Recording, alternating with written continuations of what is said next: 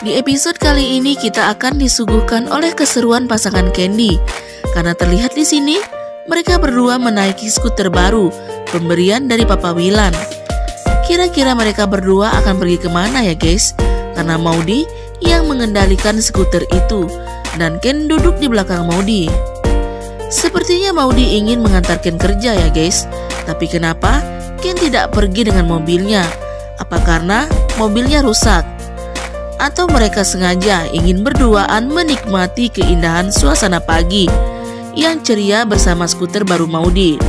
Karena memang akhir-akhir ini mereka jarang bersama.